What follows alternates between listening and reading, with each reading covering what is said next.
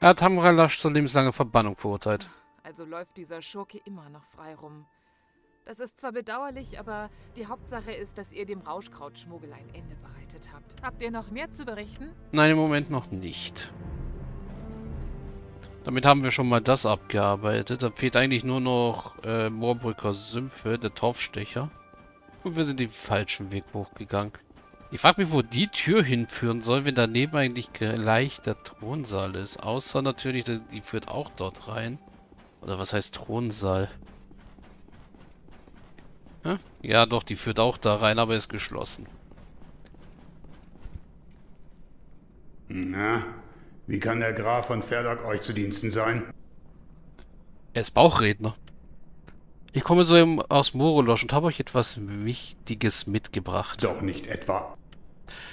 Wenn ihr einen neuen Spieler haben meint, habt ihr damit recht. Her. Das glaube ich erst, wenn ich es sehe. Ihr habt ihn. Tatsächlich. Doch wie kommt es, dass ihr mir den Hammer bringt? Ich hatte doch Geheimrat Gerling damit beauftragt.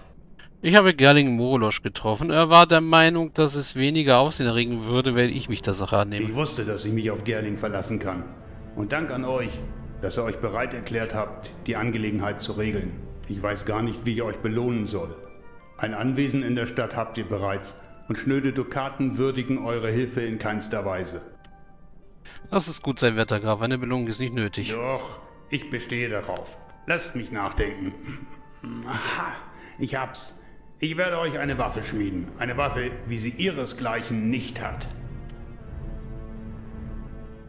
Ja, vielen Dank, aber das kann ich nicht annehmen. Es ist mir eine Ehre, eine aus eurer Hand geschmiedete Waffe zu führen. Sehr schön. Und dann kommt auch später wieder, um euch die Waffe abzuholen. Das werde ich tun. Hoscha wohl. Ja, Hoscha. Gut, wir haben einen Hammer für Grovin abgegeben. Der Schmiedehammer hat das erforderliche Ritual durchlaufen und ich habe ihn Grovin übergeben. Ich habe Graf Grovin den neuen Schmiedehammer überbracht. Jetzt kann, ich wieder in, kann er wieder in seiner Freizeit seiner Lieblingsbeschäftigung nachgehen. Ja, Zwerg bleibt Zwerg. Graf Grovin hat mir als Belohnung für die Überbringung seines neuen Schmiedehammers angeboten, eine einzigartige Waffe zu schmieden. Ich soll später wieder vorbeikommen und sie mir abholen. Ich bin gespannt, was es werden wird. Hm, hoffentlich was für Vorgrim. Hm, Gladys, so funktionieren Türen nicht.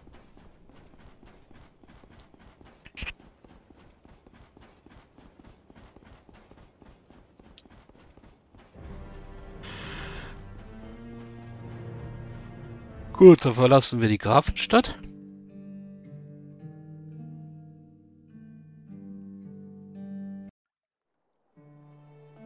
Und nicht die Grafenstadt, die Grafenresidenz. Und gehen zu unserem Kobold und hoffen, dass der ein Kraftelixier für uns hat.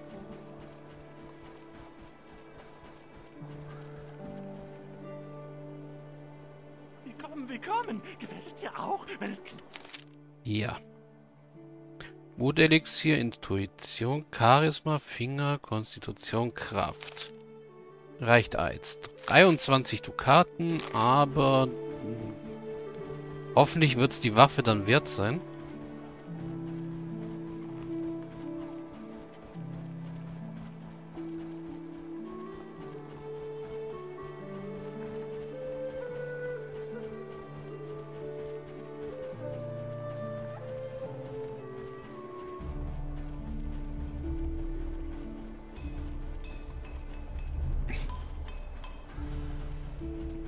Tag, Fluxosch. Ich muss mir mal deinen Amboss borgen.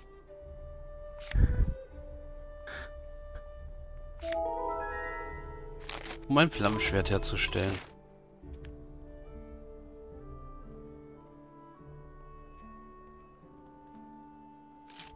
Ja, grundsätzlich ist es...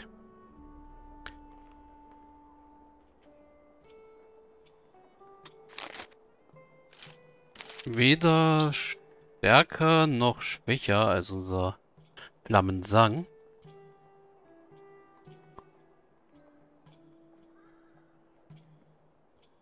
Äh.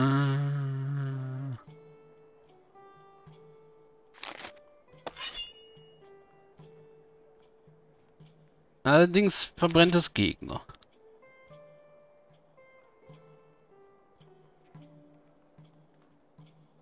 Und zwar ohne Chance, also scheint der Gegner jedes Mal Feuer zu fangen. Hm.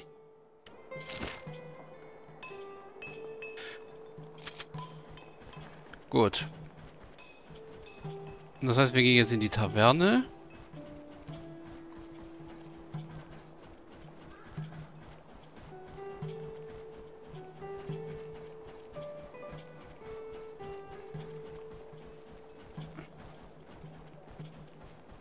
Steht noch ein... Rö oh, warte, wenn wir schon hier sind... Otto, wir haben hier Hühner für dich. Oh, hallo. Guten Tag. Äh,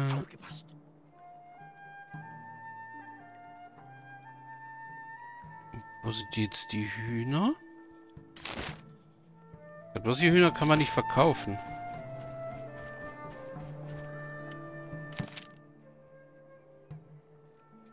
Nö.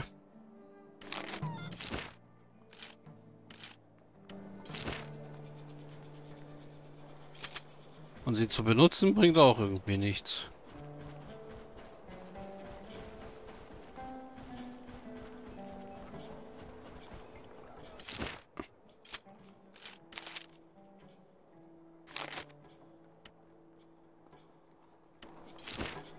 Lass das mal Vorgrimm machen. Aber die Fellfetzen können wir verkaufen hier. So. Ein Zwerg, ein Wort. Gib du mir mal alles, was zu verstauen ist. Lass das mal Vorgrimm machen. Sanja, Du hast, glaube ich, ah, nur Drachenblut. alles klar. Und du hast nichts zum Verstauen. Gut.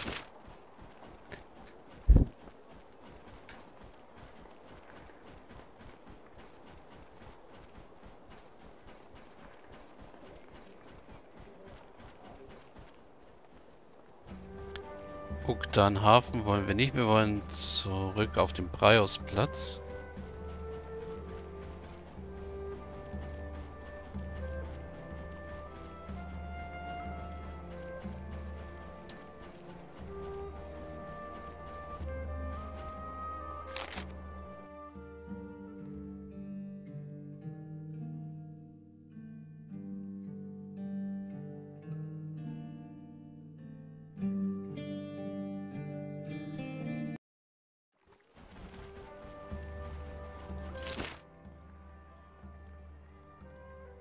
Versuche mein Bestes.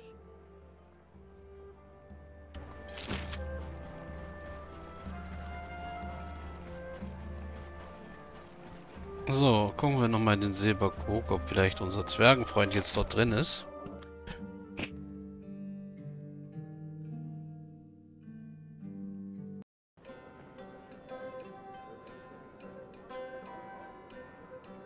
Koch, was riecht hier so komisch? Ah, der Braten.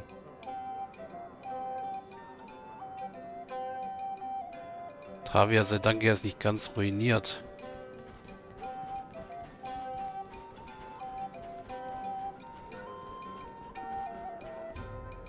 Was wollt ihr in meiner Küche? Ihr habt hier... Okay.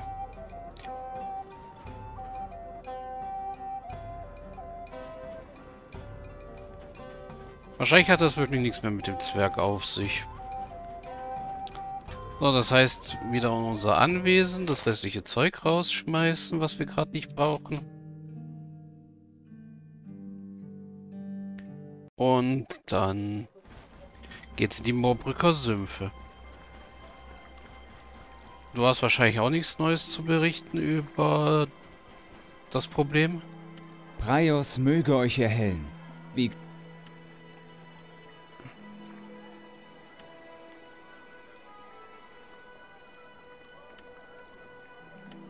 Ja, okay. Das war jetzt nichts Wichtiges, deswegen habe ich mich da schnell durchgeklickt. Bin mal gespannt, was für eine Waffe wir dann noch von Groving kriegen.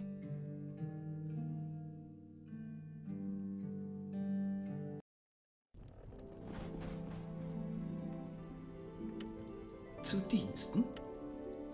Warum kann dieses Haus nicht von einer Monsterplage heimgesucht werden?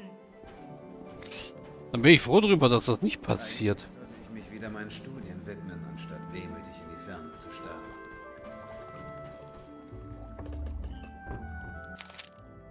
Ja, es sind einfach leider zu viele Leute. Bienenstaub packe ich mal da rein, Drachenblut packe ich da rein. Sind leider ehrlich gesagt zu viele Begleiter, die man hier haben kann. Deswegen bleibt mehr als die Hälfte auf der Strecke. Die man auch gerne mal mitnehmen möchte.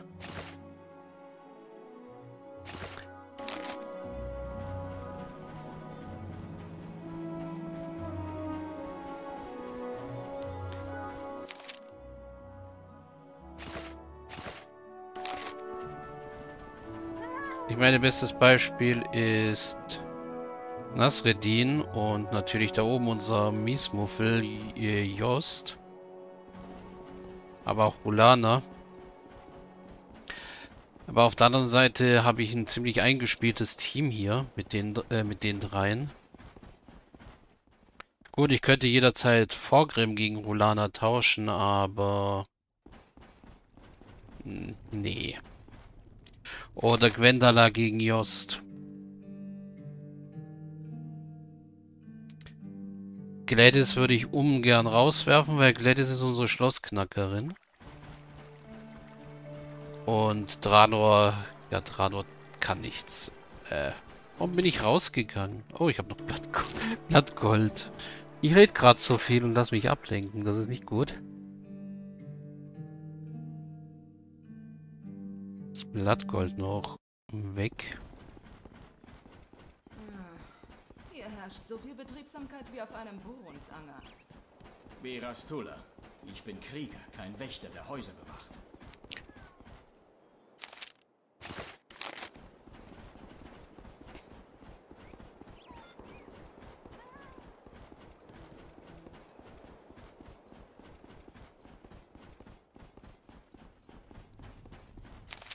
So, äh, nochmal ein Quicksave machen, sicher ist sicher. Und dann geht es ab in die Moorbrücker Sümpfe.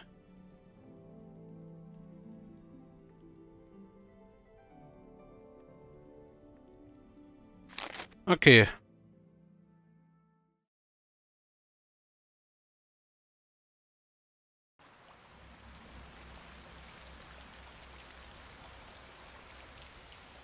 Paar Wildschweine.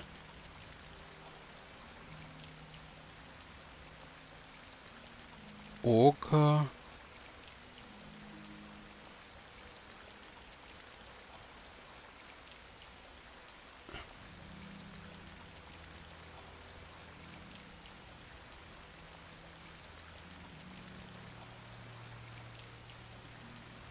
Oh, der Oger hat Soldaten getötet.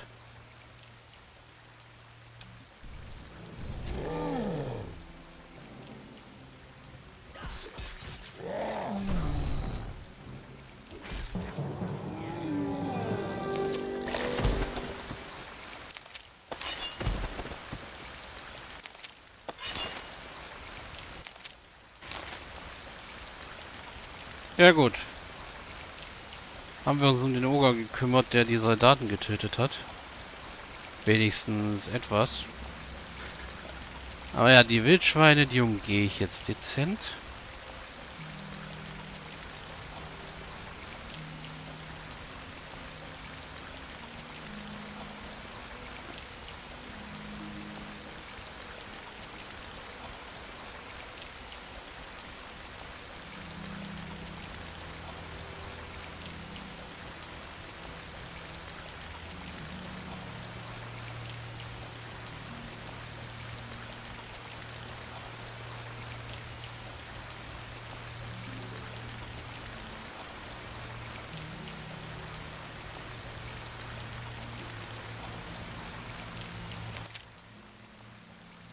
So, Reise fortsetzen nach Moorbrück.